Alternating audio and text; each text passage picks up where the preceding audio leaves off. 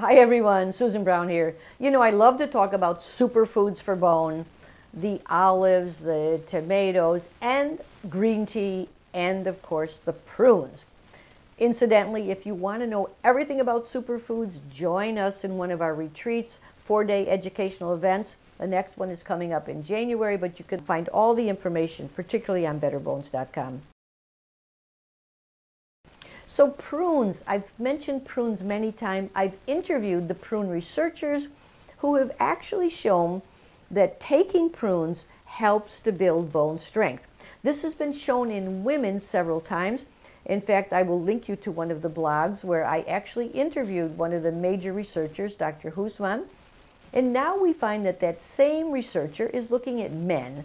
And so they did the exact same thing. They used about a half of cup of prunes every day, and they found that those prunes actually had a favorable impact. Actually, the somewhat uh, part of the internal structure of certain bones was strengthened.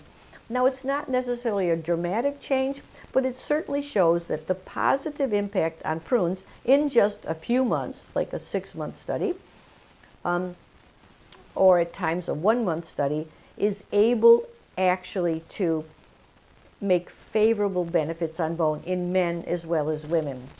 Many good reasons why prunes are excellent. They're high antioxidant food, high fiber food. And interestingly enough, people don't gain weight, they don't disturb their blood sugar. But prunes, once again, are shown to be helpful for bone, in this case, helpful for men. Take care of yourself, eat a lot of fruit and vegetables, and we'll talk soon.